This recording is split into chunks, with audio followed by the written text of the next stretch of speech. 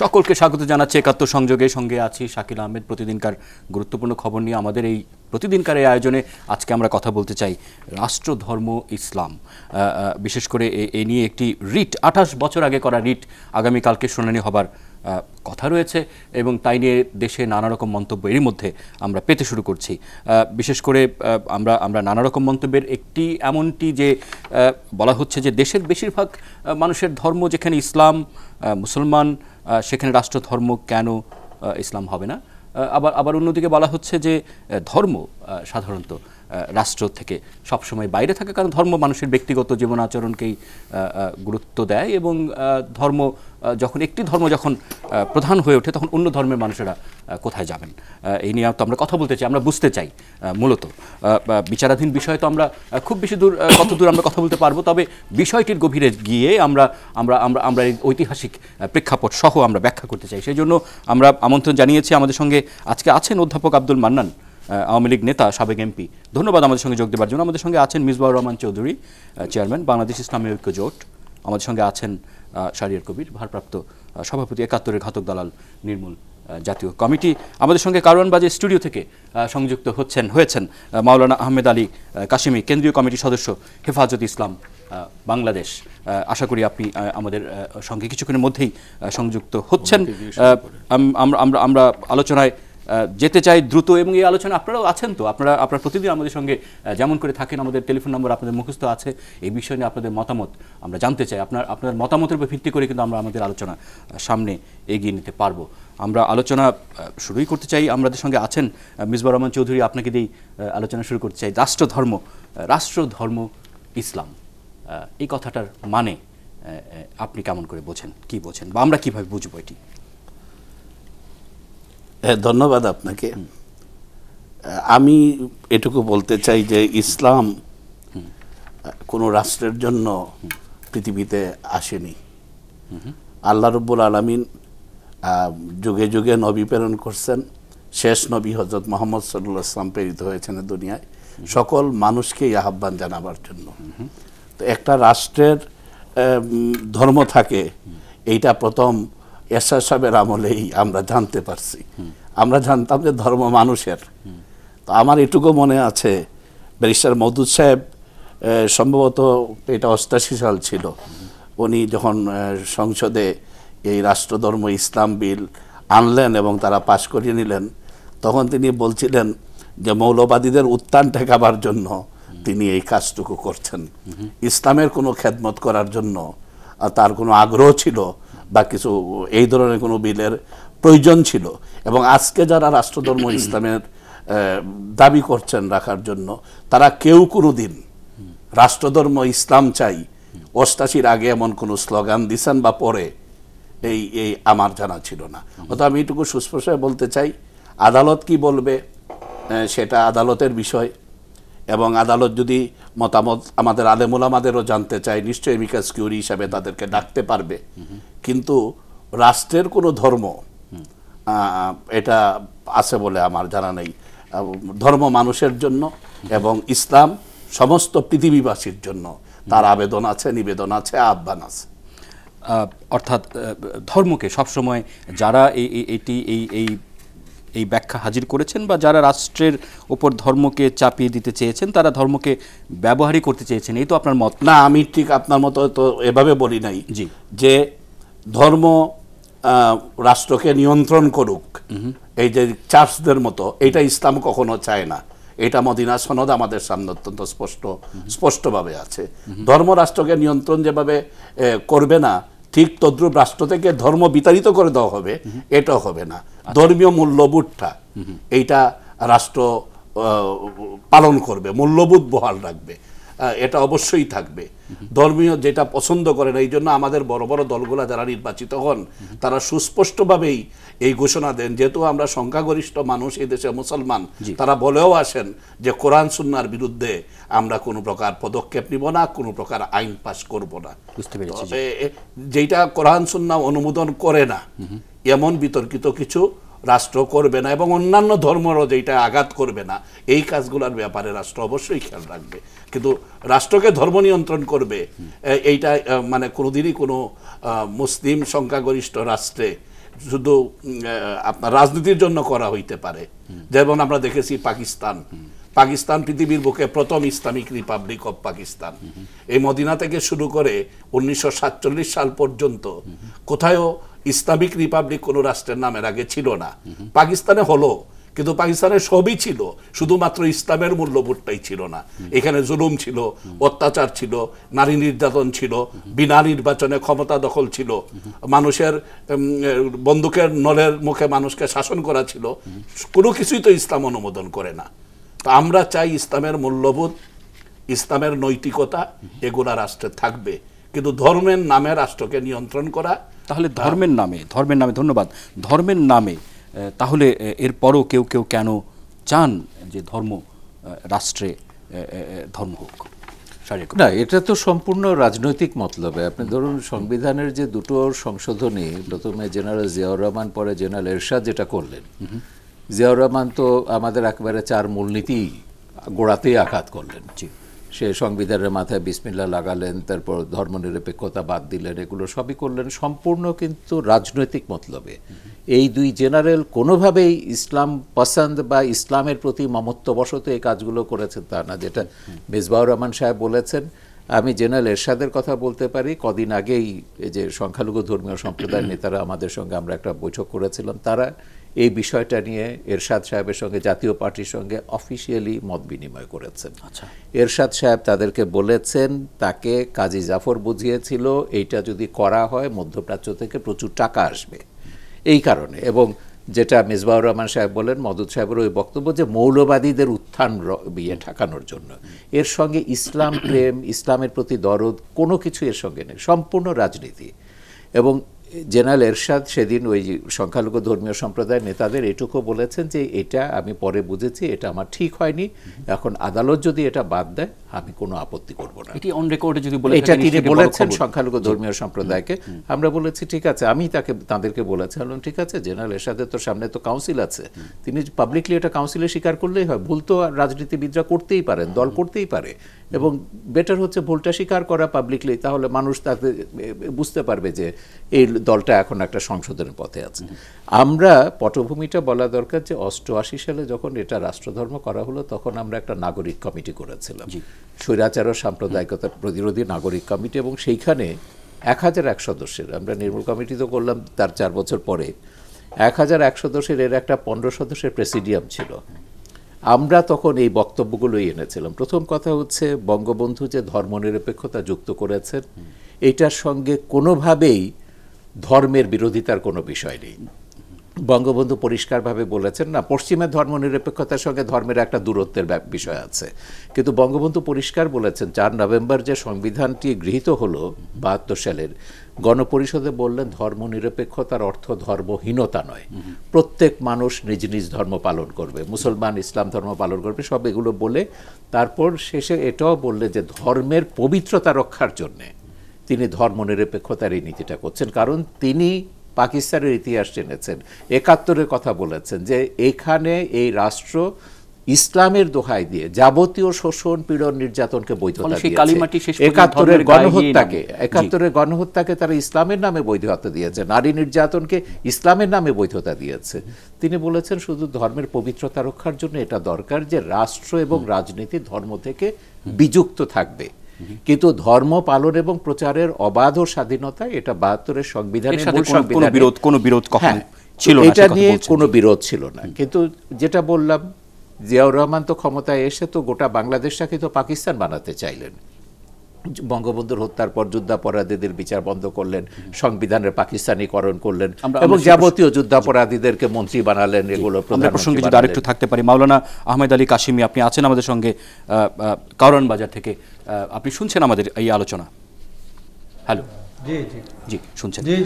তাহলে রাষ্ট্র ধর্ম যেহেতু রাষ্ট্র যে কথাটি আমরা শুনছি আমাদের এখানে বলছেন শাহের কবির যে ধর্ম আহ, যদি রাষ্ট্রের সঙ্গে জুড়ে দেওয়া হয় আহ, তাহলে কিন্তু রাষ্ট্রের যাবতীয় কালিমা যেমনটি আমরা একাত্তরে দেখেছি দুষ্কর্ম সেটিও কিন্তু ধর্মের গায়ে গিয়ে লাগে। তাহলে কেন আমাদের ধর্মকে রাষ্ট্রধর্ম ইসলামকে রাষ্ট্রধর্ম করতে হচ্ছে? ধন্যবাদ। জি। আমরা এখানে জনাব শাহরিয়ার কবির মিসবাহ রহমান চৌধুরী দুইজনের আলোচনা শুনলাম। জি। বিশেষভাবে মিসবাহ রহমান চৌধুরী সাহেব আহ, উনি বললেন যে রাষ্ট্রের কোনো ধর্ম নাই রাষ্ট্রের কোনো ধর্ম থাকতে পারে না। জি। কিন্তু আমরা আপনি দেখেন বিগত দিন যদি আমরা দেখি বিশ্বের প্রায় দেশের মধ্যেই রাষ্ট্র ধর্ম রাষ্ট্রের একটা ধর্ম আছে। খ্রিস্টান রাষ্ট্র হোক কিন্তু সেটারও কিন্তু একটা ধর্ম আছে। খ্রিস্টান রাষ্ট্রের ধর্ম আছে। এইভাবে জি। বিশ্বের প্রায় পঞ্চাশটি দেশের উপরের বিভিন্ন দেশে তাদের রাষ্ট্রীয় একটা পরিচয় আছে। আমাদের বাংলাদেশেও আমরা মনে করি যে সংখ্যাগরিষ্ঠ নাগরিকদের যে একটা পরিচয় যে এটাকে বিশ্বের দ্বিতীয় বৃহত্তর মুসলিম দেশ হিসাবে আখ্যায়িত করা হয়। এটা একটা মুসলিম দেশ আমাদের পরিচয়। এবং দেশের যে সংবিধান হয় সংবিধানটা দেশের নাগরিকদের একটা পরিচয় বহন করে। সংবিধানের মধ্যে যে এই দেশের রাষ্ট্র, ধর্ম, ইসলাম, এটা একসময় কোনো আন্দোলন করে করা হয় নাই। দুইজনে দুইটা মন্তব্য করছেন যে এরশাদে কুমতলবে এ করছে, সেটা এরশাদের মতলব সম্পর্কে তার আমাদের জানা নাই। কিন্তু রাষ্ট্র, ধর্ম, ইসলাম করার পরে এই দেশের নাগরিকরা এটার বিরোধিতা কেউ করে নাই। আজ পর্যন্ত এটার বিরোধিতা কেউ করে নাই। এবং ইসলাম রাষ্ট্র ধর্ম হওয়ার পরে আমরা মিলেমিশে সবাই আছি। এতে কোনো অন্য ভিন্ন ধর্মের কোনো নাগরিকদের কোনো সমস্যা হচ্ছে। বিগত আঠাশ বছরে এই কারণে কোনো সমস্যা দেখা যায় তিনটি তথ্য কি আমি যুক্ত করতে পারি কিনা? একটি হচ্ছে যখন এটি ঘোষণা করা হয়েছিল তখন আওয়ামী লীগ বিএনপি দুই পক্ষ থেকে তার প্রতিবাদ করা হয়েছিল হরতাল ডাকা হয়েছিল। এক দুই নম্বর হচ্ছে সাতান্নটি মুসলিম দেশ আছে। তার মধ্যে মাত্র পাঁচটি দেশে এখন পর্যন্ত মুসলিম দেশ। আমি খ্রিস্টান দেশ প্রধান। মুসলমান প্রধান দেশ।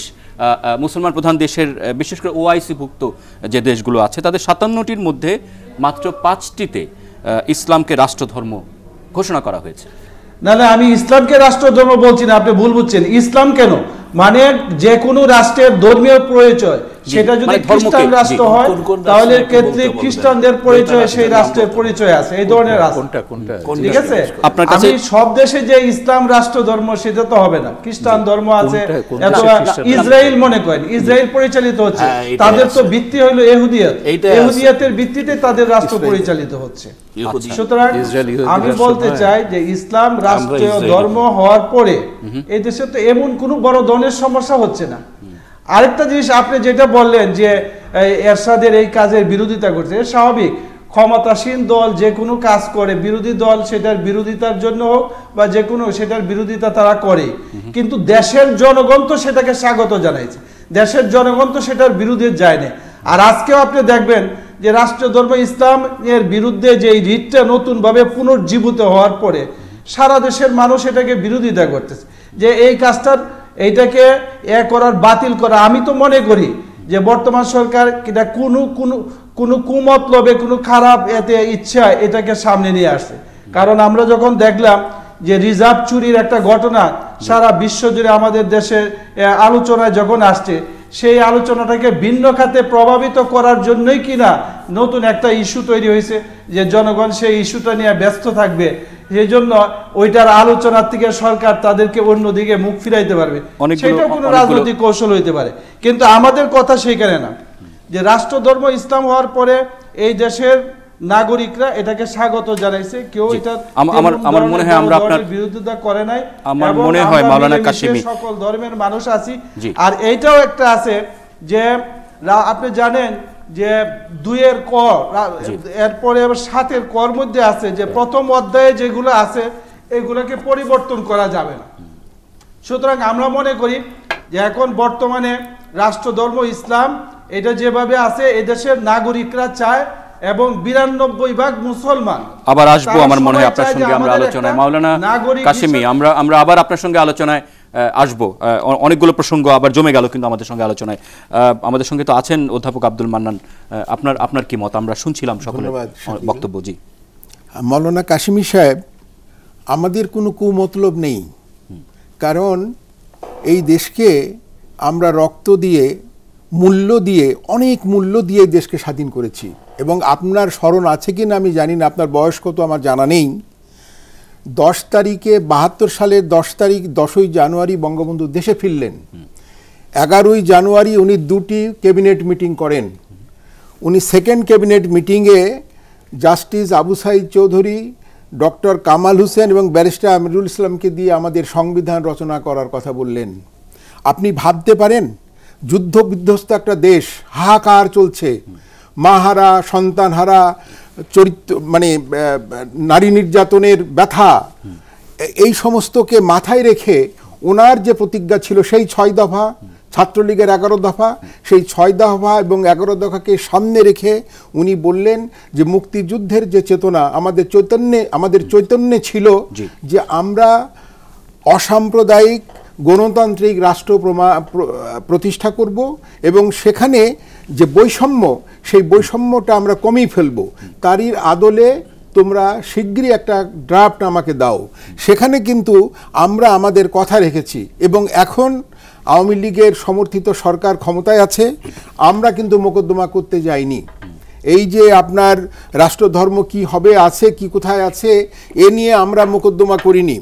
আপনারা আমাদেরকে ধমক দিচ্ছেন। আপনাদের ধমক আপনারা কি দেশের কথা ভাবছেন? আপনারা কি ইসলাম ইসলাম কোথায়? আপনি ইসলাম ইসলাম ইসলাম তো শান্তি। আপনি অশান্তির ভিতর দিয়ে শান্তিকে আবিষ্কার করবেন কি করে? আমি তো বুঝতে পারি না। আপনার ভিতরে সেই মমতা মানুষের প্রতি যে ভালোবাসা আজকে দেশে যে নানান রকম অবিচ নানান রকম অশান্তি বিরাজ করছে। আপনারা যে লোক মারছেন আপনারা যে পেট্রোল বোমা নিক্ষেপ করছেন এর মধ্যে কি ইসলাম আছে? তা ইসলাম নেই। আমার মনে হয় আমরা আমি এখন আমাদের আমাদের আমি আমি আমি শুধু বলব যে এগুলো করে ধমক দিয়ে কোনো কিছু হবে না। আপনাদের আমাদের ছোট ভূখণ্ড সতেরো কোটি মানুষ আমরা বাস করি। এই মানুষ আপনার কথা ঠিক যে বিরানব্বই ভাগ লোক মুসলমান এবং আমরা যে কোনো দেশের মুসলমানের চেয়ে আমরা শুদ্ধ মুসলমান আমরা ভালো মুসলমান। আগে যখন এরশাদ সাহেবের অষ্টআশির আগে ইসলাম রাষ্ট্রধর্ম ছিল না আমাদের হজের কি অসুবিধা হয়েছে? মসজিদের অসুবিধা হয়েছে? নামাজের অসুবিধা হয়েছে? আজানের অসুবিধা হয়েছে? কিছুই তো আমাদের হয়নি। যেমন চলছিল তেমনি চলছে। আপনারা একটা একু লাগিয়ে একু লাগিয়ে আপনারা এটাকে দেশের যখন শেখ হাসিনার নেতৃত্বে দেশ অগ্রসর হচ্ছে যখন পদ্মা সেতু নিজের অর্থায়নে আমরা করতে সমর্থ হচ্ছি তখন সেদিকে আপনারা সজাগ না হয়ে আপনারা এইটাকে নস্বাত করার জন্য চেষ্টা করছেন। আমার আমার মনে হয় আমার মনে হয় আমাদের আরও আলোচনার সুযোগ একেবারে রয়ে গেছে। বিশেষ করে সংখ্যাধিক্য বেশি সংখ্যার মানুষ একটি দেশে থাকলেই যেমন সহজ করে ভারতে বেশিরভাগ মানুষ হিন্দু। তাহলে কি সেই দেশের রাষ্ট্রধর্ম হিন্দু হবে কিনা। এরকম আরও কিছু বিষয় নিয়ে আমরা আলোচনা করতেই তো চাই। একটা ছোট্ট বিরতির সময় আমাদের হয়েছে। আশা করি আমাদের সঙ্গে থাকছেন।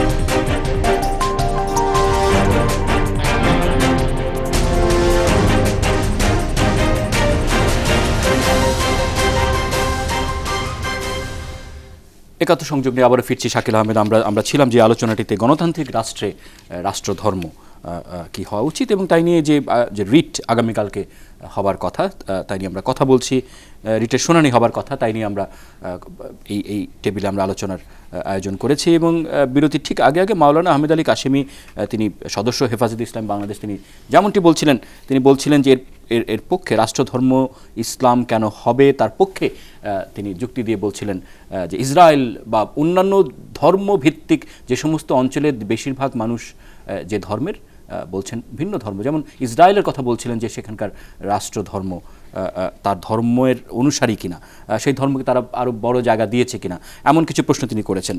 নিশ্চয়ই আমরা তার কাছ থেকে আরও শুনব। কিন্তু আমাদের কিন্তু আছেন মিসবাউর রহমান চৌধুরী আপনি শুনছিলেন? হেফাজত ইসলাম ওনার বক্তব্য। আপনার কি মত? আমি উনি বলছেন পঞ্চাশটির অধিক দেশে রাষ্ট্রধর্ম আছে। জি।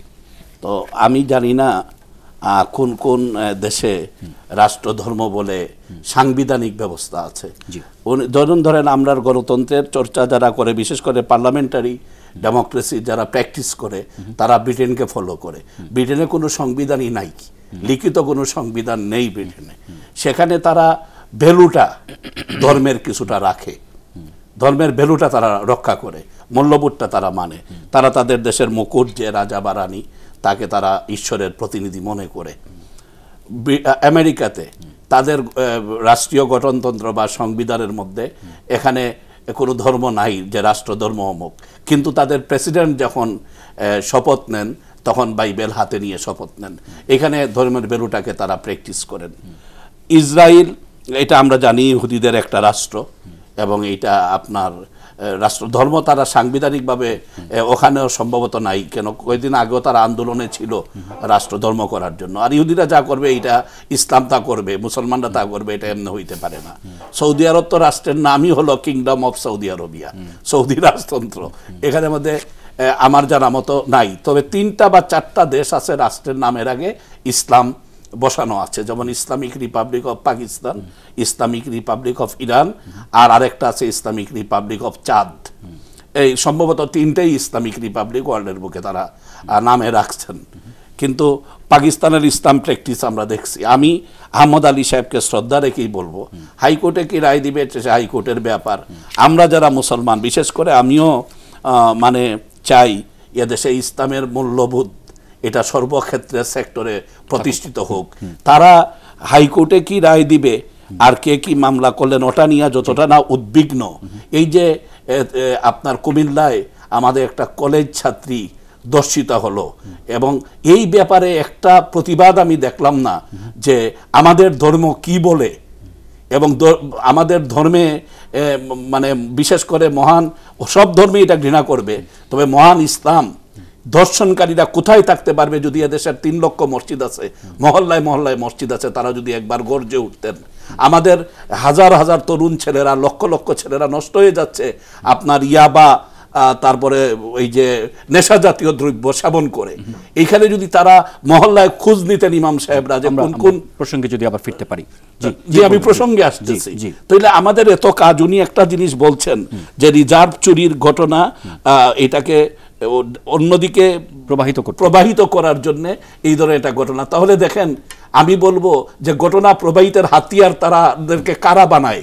এই জিনিসটা তারা চিন্তা করা প্রয়োজন যারা তারা কেন ঘটনার হাতিয়ার হবেন? আমাদের সঙ্গে আছেন শারিয়ার কবির। ফলে মামলার প্রেক্ষাপটটি যদি আরেকটুখানি আপনি বলতে চান। না একটা তো হচ্ছে যেটা পঞ্চাশটি দেশের মধ্যে যেটা বললেন কাশিমি সাহেব পঞ্চাশটি দেশের মধ্যে পাঁচটা দেশের নাম তিনি বলতে পারবেন কিনা সন্দেহ এটা তথ্যগতভাবে এটা ঠিক নয়। এবং ইসরায়েলও তথ্যগতভাবে ইহুদি রাষ্ট্র নয় যদিও সেখানে আন্দোলন চলছে কিন্তু এখন পর্যন্ত তারা রাষ্ট্রধর্ম ইহুদি এটা তারা ইয়ে করতে জুডাইজমকে তারা গ্রহণ করেনি। আচ্ছা। আর আমি খুব অবাক হচ্ছি যে হেফাজতের নেতা কি করে ইসরায়েলকে মডেল হিসেবে ধরে নিচ্ছেন? ইসরায়েলের রাষ্ট্রধর্ম আছে আমাদেরও রাষ্ট্রধর্ম হতে হবে। এরকম ইসরায়েল প্রেম তো হেফাজতের নেতার কাছে অন্তত আমি আশা করিনি তো যাই হোক তিনি বলেছেন যে কি জামাত হেফাজ সারা দেশ নাকি এটা নিয়ে বিরোধিতা করছে। তা আমি তো দেখলাম জামাত হেফাজত ছাড়া কে বিরোধিতা করল? এখন জামাত হেফাজত যদি সারা দেশ হয় সেটা মনে করতে পারেন। আর তিনি বলছেন যে কি অষ্টআশি সালে সারা দেশটাকে স্বাগত জানিয়েছিল। যে দলগুলো আন্দোলন করছিল এরশাদের বিরুদ্ধে দুইটা প্রধান জোট আওয়ামী লীগের নেতৃত্বে আট দলীয় জোট এবং বিএনপির নেতৃত্বে সাত দলীয় জোট এবং বামদের পাঁচ দলীয় জোট। একটা জোট এটাকে স্বাগত জানায়নি তারা এটা তীব্র প্রতিবাদ করেছে। আমরা কি আরও একবার তাহলে শুনে আসতে চাই কিনা? মাওলানা এবং তারপর আপনাকে বলি যে এই যে এর আগে জামাত বা হেফাজত কোন ইসলামী দল বলেনি যে রাষ্ট্রধর্ম ইসলাম হতে হবে। তো সেই জন্যই আমরা বলছি যে এই পুরোটাই হচ্ছে একেবারে রাজনৈতিক মতলবে। আমাদের পরিষ্কার কথা বলে দিতে হবে একাত্তরে মুক্তিযুদ্ধ করে বাংলাদেশ স্বাধীন হয়েছে ধর্মনিরপেক্ষ গণতান্ত্রিক বাংলাদেশের জন্য রাষ্ট্রধর্মের জন্য না। রাষ্ট্রধর্ম থাকলে তা পাকিস্তান আমার ক্ষতিটা কি করেছিল? আমি পাকিস্তানের সঙ্গে কেন থাকলাম না যে ইসলামের নামে এই বদমাইশি এইটা আমরা সহ্য করব না। চব্বিশ বছর আমরা ইসলামের নামে পাকিস্তানের বদমাইশি দেখেছি ধৃষ্টতা ভণ্ডামি যা কিছু অত্যাচার নিপীড়ন সব দেখেছি। একাত্তরের গণহত্যা দেখেছি একাত্তরের নারী নির্যাতন দেখেছি। ধর্মের কারণে হয়তো আলাদা হয়েছিল এক হয়েছিল কিন্তু ধর্ম যে শেষ পর্যন্ত এই রাষ্ট্র দুটি রাষ্ট্রকে এক জায়গায় রাখা সম্ভব নয় তার তো প্রমাণ সেটি নাকি? পাকিস্তানের বাংলাদেশের সৃষ্টিটাই তো প্রমাণ করে পাকিস্তানের এই তত্ত্বটা সঠিক ছিল ভুল ছিল। এবং সেইটাই আমাদেরকে আবার অনুসরণ করতে হবে পাকিস্তান বানাতে হবে বাংলাদেশকে। তো এই ধারণা থেকে আমাদের বেরিয়ে আসতে হবে। বাংলাদেশ যে মূল্যবোধগুলোর উপর হয়েছে বাংলাদেশ সেখানেই থাকবে। যারা বাংলাদেশকে পাকিস্তান বানাতে চায় তারা পাকিস্তানে চলে যায় আমরা আরেকবার শুনি না মাওলানা আহমেদ আলী কাশিমি কেন্দ্রীয় কমিটির সদস্য হেফাজত ইসলামী বাংলাদেশ। আপনি আমাদের আলোচনা শুনছিলেন মাওলানা কাশিমি। জি আপনাদের আলোচনা আমি শুনছিলাম আমি আশ্চর্য হইলাম যে এখানে আমরা তো স্বাভাবিকভাবে একটা জিনিস নিয়ে এখানে আলোচনা করতেছি। তো আমাদের অধ্যাপক আব্দুল মান্নান সাহেব উনি বললেন যে আমরা বোমা মেরে ইত্যাদি এই সমস্ত শব্দের সাথে তো আজকের আলোচনার সাথে কোনো সম্পর্ক নাই। আবার এখানে আমি যে জিনিসটা বলতে চাই যাকে এদিকে না গিয়ে বিগত এরশাদ সাহেবের অষ্টআশি সনে রাষ্ট্রধর্ম ইসলাম করার পরে, এরশাদের পরে খালেদা জিয়ার সরকার আসলো, তারপরে শেখ হাসিনার সরকার আসলো। কোনো সরকারই কিন্তু সেটাকে পরিবর্তন করে নেই এবং এটা পরিবর্তন করার অনুভবও করে নেই। এবং যে কোনো সরকার, আওয়ামী লীগ বলেন, তারাও তাদের যখন এই সংসদ নির্বাচনের আগে যে ইশতেহার তারা পেশ করছেন, সেটার মধ্যেও বারবার কিন্তু তারা এই কথাই বলছে যে কোরআন সুন্না বিরোধী কোনো ধরনের আইন প্রণয়ন তারা করবেন না। এমনকি মাননীয় প্রধানমন্ত্রী বিভিন্ন সময় বলছেন যে মদিনার সনদ অনুযায়ী দেশ চলবে।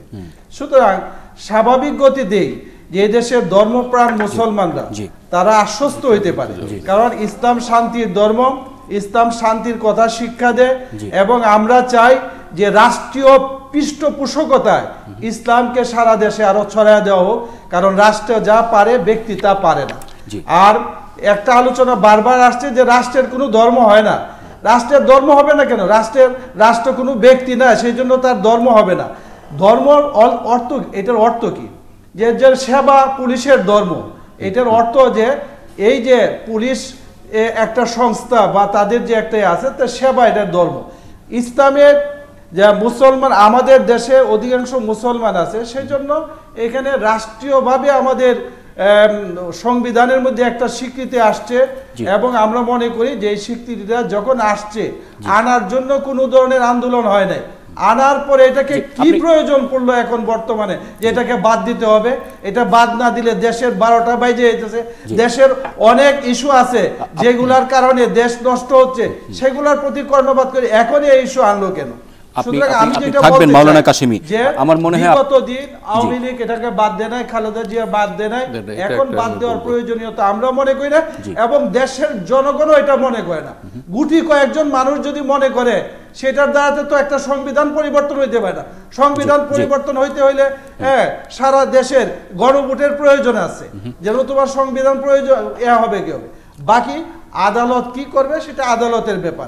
আমরা জনগণ আমাদের দাবি আমরা জানাইতে পারি। গণতান্ত্রিক প্রক্রিয়া আমাদের দাবি অব্যাহত আছে অব্যাহত থাকবে এবং মানুষ তাদের দাবি জানাবে। অর্থাৎ অর্থাৎ আপনি যে কথাটি বলছেন যে ধর্ম পুলিশের পুলিশের ধর্ম যেমন হচ্ছে সেবা রাষ্ট্রের ধর্ম তেমন হচ্ছে কোন একটি ধর্ম ইসলাম হতে পারে। এটি রাষ্ট্রের ধর্ম সেবা। আচ্ছা শুনছি তাহলে বলবেন কিনা? জি মানে নিশ্চয়ই বলব। রাষ্ট্রের ধর্ম সেবা আর আপনাকে আমি নিশ্চিত করতে চাচ্ছি যে কোরআন সন্ন্যার বিরুদ্ধে কোনো আইন আমাদের এই সরকার কখনোই পাশ করবেন না। কারণ এই সরকারের যিনি প্রধান তিনি বোধহয় নিজেকে অনেক বেশি ধার্মিক বলে বিবেচনা করেন। কিন্তু তিনি একটি কথা পারা- প্রায় বলেন যে ধর্ম যার যার রাষ্ট্রসভার। রাষ্ট্রসভার। ফলে সেই স- সবারইটা দিতে হবে। আর শারের ভাই যেটা বললেন যে পাকিস্তানের সঙ্গে যে আমাদের বিরোধটা হলো সেটা দ্বিজাতি তত্ত্বের বিরোধ। তো প্রথম থেকে আমাদের ভিতরে এটা ছিল। সেই বিরোধের ধারাবাহিকতায় আমাদেরকে এখানে আসতে হলো। এখন আমরা যদি আবার সেই দ্বিজাতি তত্ত্বেই ফিরে যাই তাহলে আমাদের মুক্তিযুদ্ধের যে মূল্যায়ন মুক্তিযুদ্ধ যারা আমরা করেছিলাম সৌভাগ্যক্রমে তাদের অস্তিত্ব বা তাদের এই শ্রমটা কোথায় যাবে? না একই সঙ্গে যে কথাটি বলছেন ধর্ম আহ, ধর্মকে যে কথাটি বলছেন যে এটি একটি এটি জীবন বিধান। মাওলানা। জি মাওলানা মিসবাউর যে কথাটি বলছেন যে ধর্ম তো একটি জীবন বিধান ফলে এই যে পুলিশের যেমন ধর্ম হচ্ছে সেবা রাষ্ট্রের ধর্ম তো আহ, আহ, যেই ধর্ম বেশিরভাগ মানুষ সেটি হতে পারে না কেন? প্রশ্ন। দেখেন আহমদ আলী কাশেমি সাহেব একজন বড় আলেম। জি। এবং উনি সচেতনভাবেই এই কথা বলছেন কিনা আমি বুঝতে পারছি না। যে রাষ্ট্রের কোনো ধর্ম আছে। তাইলে অষ্টাশি সালের আগে আমাদের দেশ কি বিধর্মী রাষ্ট্র ছিল? এর আগে আপনার পাকিস্তানের আগে আমরা আটশো বছর যে ভারত মুসলমানরা শাসনই করল। এইটা কি এইটা কি বিধর্মী কোনো রাষ্ট্র ছিল? যে রাষ্ট্রের ধর্ম হবে মানুষের। আমি ওনাকে সবিনয়ে প্রশ্ন করব। আমাদের কোরআন শরীফে ছয় হাজার ছয়শো আট ছয়ষট্টিটা আয়াত আছে। তার মধ্যে কোথায় কি রাষ্ট্রকে আহ্বান করে আল্লাহ কিছু প্র্যাকটিস করতে বলছেন? না কেন্দ্রীয় চরিত্র হইল মানুষ মানুষকে আহ্বান করা হয়েছে। তো এইটা উনি উনি যদি হাইকোর্টে আমি মানে আমার বিশ্বাস যে একটা পিটিশন দিবেন এমিকাস কিউরি হিসাবে যদি হাইকোর্টে যান তাহলে ওইখানে কথা বলতে সুবিধা হবে। হাইকোর্ট শুনুক না উভয়ের মতামত। এবং একটা জিনিস উনি বলছেন আরেকটা জিনিস বলছেন যে সংবিধান পরিবর্তন করতে হলে জনগণের ম্যান্ডেট নেওয়া দরকার। ম্যান্ডেট নেওয়া প্রয়োজন। জি। আমি ওনার এই কথার সাথে আমি দ্বিমত পোষণ করছি না। যে হাইকোর্টে যদি জনগণের ম্যান্ডেটের প্রয়োজন হয় তাহলে ওনারা এই ব্যাপারে দাবি করতে পারেন যে এটা একটা গণভোটে দিয়ে দেখা হোক যে দেশের মানুষ রাষ্ট্র ধর্ম চায় কিনা। এইটা তো একটা তো হয়ে গেছে। আপনি দেখেন উনিশশো ছাপ্পান্ন ইংরেজি সাল পর্যন্ত সাতচল্লিশ সালে পাকিস্তান হওয়ার পরে তারা একটা গঠনতন্ত্র রচনা করতে পারে নাই সংবিধান রচনা করতে পারে নাই। আ- আ- আরও একটি প্রশ্ন যেটি আমাদের রয়ে যাচ্ছে আলোচনায় আমরা। এগিয়ে যাচ্ছি বহু সামনে। যেমন বেশিরভাগ মানুষ যে দেশের বেশিরভাগ মানুষ একটি নির্দিষ্ট ধর্মের যেমন ভারতের। সেখানকার বেশিরভাগ মানুষ তারা হিন্দু। আহ, তাহলে কি ভারতের রাষ্ট্রধর্ম এইটাই তো মানে সারা আমার মনে হয় সারা বিশ্বে আমি না না আমি আপনাকে এই কথাটা আসতে চাচ্ছিলাম যে সারা বিশ্বে। সারা বিশ্বে মুসলমানদেরকে বিপদে ফেলার জন্য এই ধরনের দাবি উত্থাপন করা হয়। যেমন ভারতের বিষয়ে বিশেষ করে উনি উনি জানেন যে যাদের যার আদর্শে ওনারা অনুপ্রাণিত হজরত মৌলানা হুসেন আহমদ মদনী রহমতুল্লাহ আলাহি। তিনি বলছিলেন যে এই যে ইসলামিক রিপাবলিক বা টু নেশন থিওরির ভিত্তিতে যে পাকিস্তান রাষ্ট্র হচ্ছে ওইখানে ইসলাম বিপদে থাকবে আর ভারতে এই কারণে মুসলমানরা বিপদে থাকবে। ওনাদেরই ওনারা যার আদর্শে ওনারা রাজনীতি করেন বা একই কথা সঙ্গে বলেন। বিশ্বজুড়ে এটা আহমদ শফি সাহেব হোসেন আহমদ মদনী সাহেবের একজন খলিফা এবং ওনার পীর সাহেব এই কথাটা বলেছিলেন। আমি এই কথাটা মানে ওনাকে উনি যদি এখন আপনাকে চ্যালেঞ্জ করেন তো আমি কাগজপত্র ডকুমেন্ট ওনাকে যেখানে বলেন আমি নিয়ে যাব। উনি বলছিলেন যে টু নেশন থিওরির ভিত্তিতে এই যে যে রাষ্ট্রটি হচ্ছে পাকিস্তান, এই পাকিস্তান রাষ্ট্রে ইসলাম বিপদে থাকবে আর আমরা ভারতের মুসলমানরা বিপদাপন্ন হব এই কারণে। আমরা আমরা মনে হয় শুনব এই আলোচনাটি আরেক দফা। আমরা এগিয়ে নিতে চাইতো আমাদের আরও একটা বিরতির সময় হয়েছে। আশা করি আমাদের সঙ্গে থাকছেন।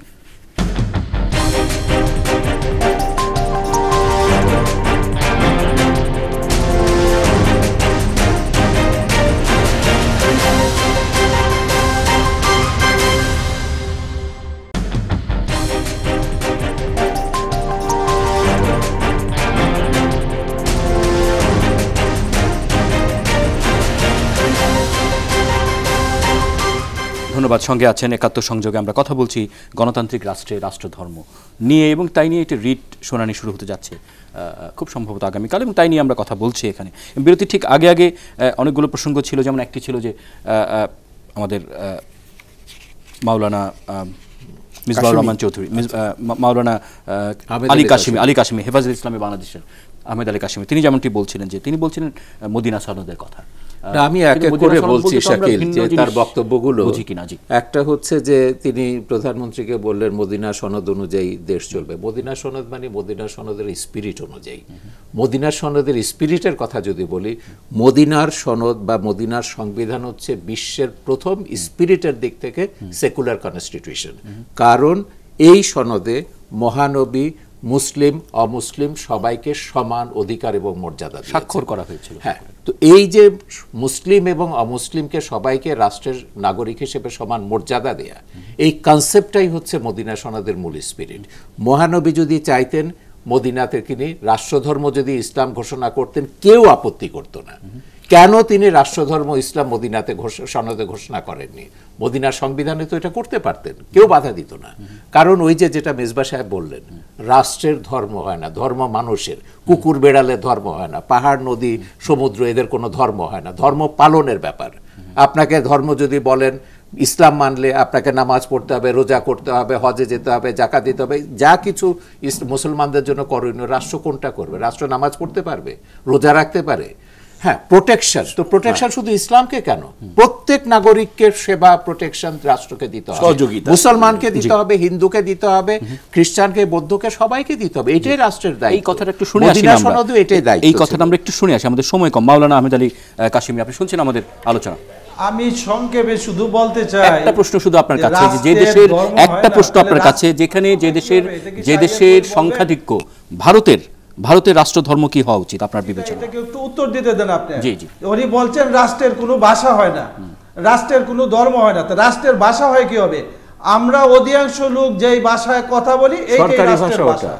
রাষ্ট্র সরকারি ভাষা হ্যাঁ। এইটাকেই আমাদের রাষ্ট্রীয় ভাষা হিসাবে। সুতরাং রাষ্ট্রের ভাষা হবে না কেন? রাষ্ট্রের ধর্ম হইতে পারে রাষ্ট্রের ভাষা হইতে পারে। ভাষাটা সবাইকে মানতে হবে। ধর্মকে আপনি হিন্দুকে মানবে? ধর্ম রাষ্ট্র ধর্ম ইসলাম হওয়ার কারণে এই দেশের কোনো নাগরিকের কোনো সমস্যা এজন্য হচ্ছে এটা আমার জানা নাই। আপনি যে প্রশ্ন করছেন ইন্ডিয়া না না কিন্তু আমার যে প্রশ্নটি আপনার কাছে ছিল যে বেশিরভাগের তত্ত্ব অনুযায়ী এখন ভারতের রাষ্ট্রধর্ম কি হওয়া উচিত? বা আদৌ সেখানে রাষ্ট্রধর্ম হওয়া উচিত কি না ভারতে কি হবে সেটা ভারতের ব্যাপার। আমাদের আমাদের দেশে মুসলমানদের ভারত কি করবে তাদের জনগণ কি চাবে না চাবে সেটা তো আর আমি ভারতের নাগরিক না। আমি সেটা বলতে পারব না। ভারতের কি হওয়া প্রয়োজন সেই মতামত দেওয়ারও আমার দরকার নেই। সুতরাং ভারত তার ভারতের গতিতে চলবে।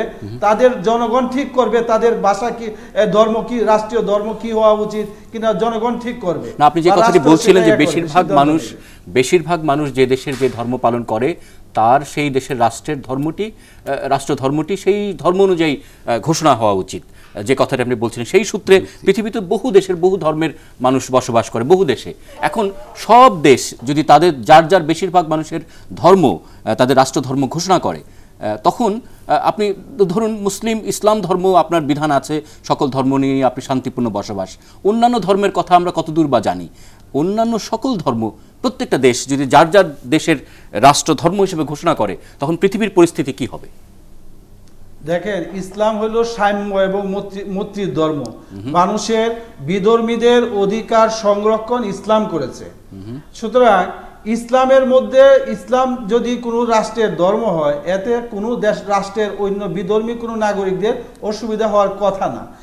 এবং অন্যান্য দেশে তাদের এ অনুযায়ী যদি রাষ্ট্রীয় ধর্ম তারা ভিন্ন ধর্ম তারা করে সেখানে যদি সকল নাগরিকদের অধিকার সংরক্ষিত থাকে তাদের অধিকার ন্যায্য পাওনা যদি তারা পায় সেই ব্যাপারে তো আমাদের দ্বিমত করার কিছু নেই। রাষ্ট্র ধর্ম আছে পাকিস্তান। আমি এটা প্রশ্ন পাকিস্তানের কি পরিণতি কি অবস্থায় আছে আমি কি ওনাকে একটা প্রশ্ন করতে পারি? আচ্ছা হজরত কাশেমি সাহেব ওই যে হজরত মৌলানা হুসেন আহমদ মদনী যে বিখ্যাত উক্তি করেছিলেন টু নেশন থিওরির ব্যাপারে যে পাকিস্তান ইসলাম বিপদে থাকবে আর ভারতের মুসলমানরা বিপদে থাকবে এই জিন্নার টু নেশন থিওরি মানলে। এই উক্তিটাকে কি আপনি ভুল মনে করেন? কি বললেন?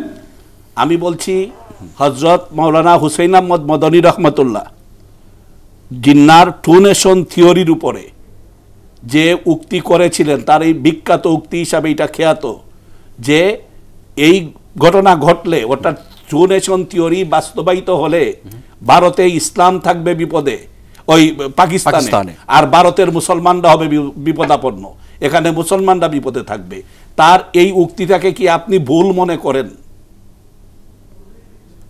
আমি সেটা ভুল মনে করার আর আজকের আলোচ্য বিষয়ের সাথে তার এই উক্তি নিয়ে আলোচনার প্রয়োজন। আমি তো তার- তার বিষয়টাকে আমি ধর্ম- হিসেবে নিচ্ছি। ধর্ম থাকবে কিনা? এবং থাকলে সমস্যা কোথায়? আজকে আমরা এটা নিয়ে আলোচনা আমি আমি এই এইটার না না সাথে মাদানী সাহেব ধর্ম নিরপেক্ষতা নিয়ে তার না, না, বক্তব্য এইটার আছে সাথে ওনার এই বিখ্যাত উক্তিটা খুব সামঞ্জস্যপূর্ণ।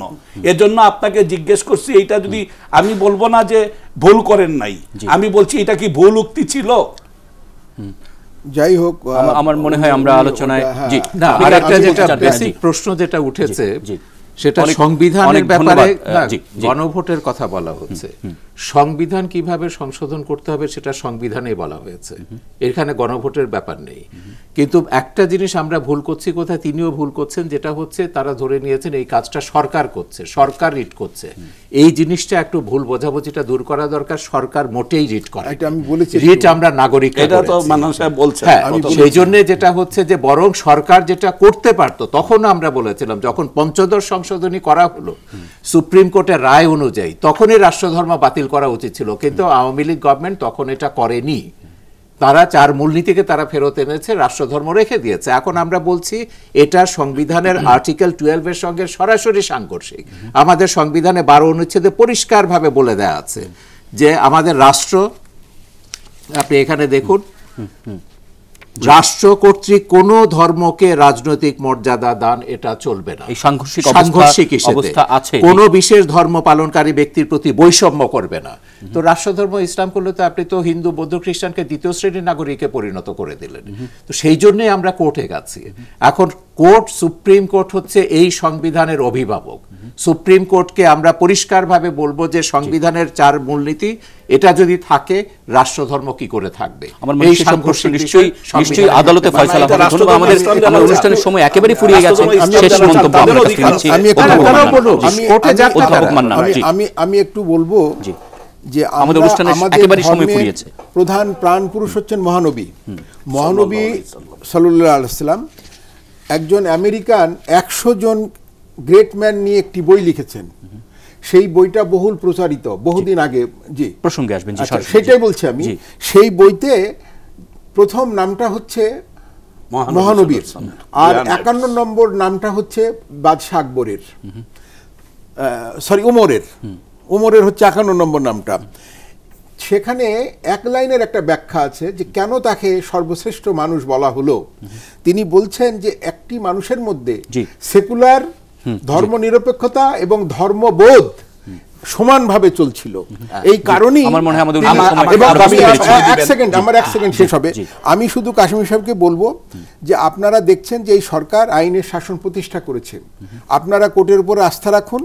কোর্ট একটা সিদ্ধান্ত নেবে আমার মনে আমরা বুঝতে পেরেছি বুঝতে পেরেছি। আগামী শেখ হাসিনাকে পৃথিবীর দশজনের একজন রাষ্ট্রনায়ক কেন বলা হয়েছে এজন্য যে একদিকে নারী অধিকার আরেকদিকে ধর্মীয় ঐতিহ্য দুইটাকে তিনি রক্ষা করতে পারছেন বিদায় পৃথিবীর অনেক অনেক অনেক অনেক ধন্যবাদ যারা আমাদের অংশ উনি নিয়েছিলেন এবং যারা আজকে শুনছিলেন আমার মনে হয় আমরা আমাদের আদালতের দিকে আমরা তাকিয়ে থাকব সেখান থেকে আমরা উপসংহার টানতে চাইব।